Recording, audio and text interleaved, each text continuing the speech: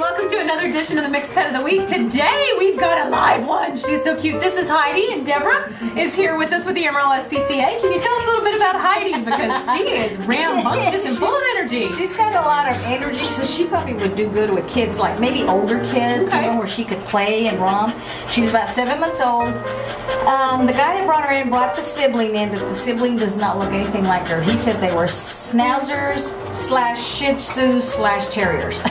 so go figure. They've got a little bit of everything in them. So Are you a mutt? Yeah, you're gonna be a good dog then.